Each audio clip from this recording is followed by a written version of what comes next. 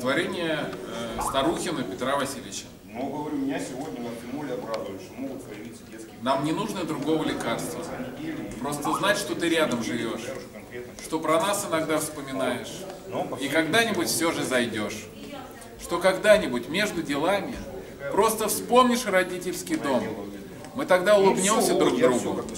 А потом По потихоньку уйдем. Мы уйдем в никуда или вечность, и останутся только слова. Только будет звучать бесконечность, и не будет болеть голова. Мы не знаем, когда это будет, и не знаем, что станет потом. Просто знаем, что Бог не осудит, и поэтому просто живем.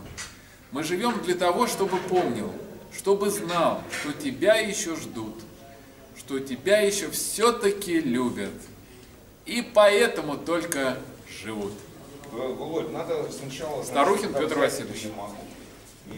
Требуется написать э, песню. вид